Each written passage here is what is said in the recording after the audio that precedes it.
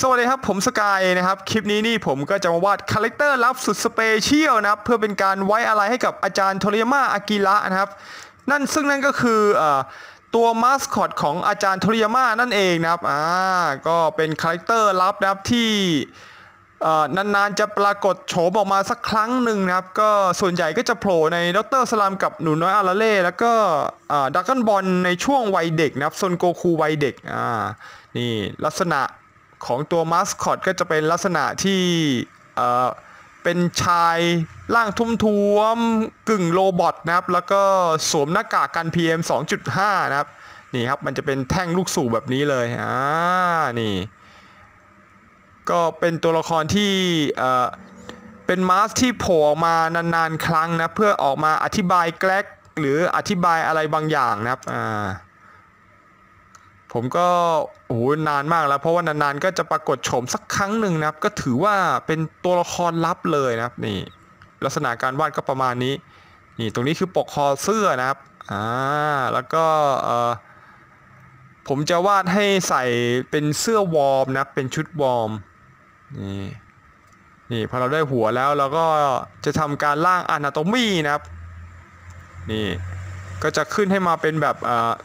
ทุ้มๆหน่อยนะครับแบบนี้เลยแล้วก็เส้นตรงกลางคือเส้นบาลานนี่แบบนี้ครับ จากนั้นเราก็ทำการวาดมือนี่มือ ตัวมาสของอาจารย์โทริยาม่าเขาเนี่ยก็จะเป็นลักษณะเหมือนกับเป็น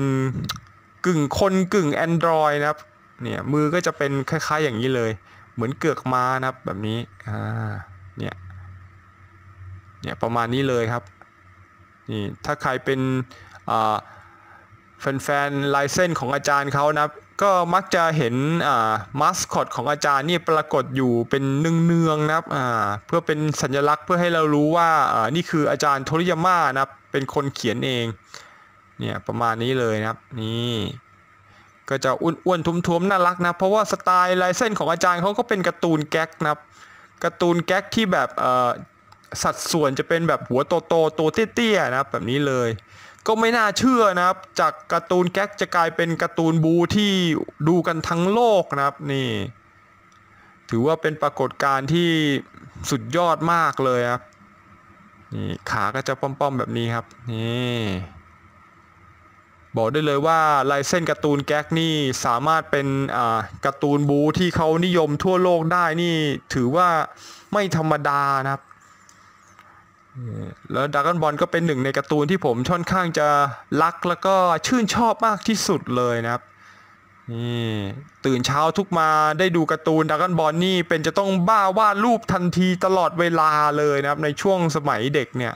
บอกได้เลยว่าแทบจะเกือบจะเรียกว่าวาดทุกวันเลยนะครับอ่าเนี่ยประมาณนี้ก็น่ารักใช้ได้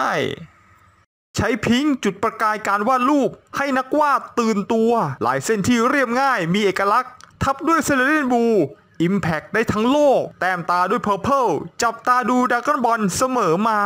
ผลงานของอาจารย์ กระตุ้นแรงผลักดันสีมอท่า ในการวาดการ์ตูนได้มหาศาล รองเท้าผ้าใบยังเปรี้ยวได้อีกด้วย orange ขอบคุณอาจารย์โทริยาม่าอากิระที่สร้างการ์ตูนสนุกๆให้ดูด้วย green เสริม viridian และระลึกถึงผลงานของอาจารย์ชั่วนิจนิรันดร์ขอไว้อาลัยให้อาจารย์โทริยาม่าอากิระพักผ่อนอย่างสงบสู่สุคติ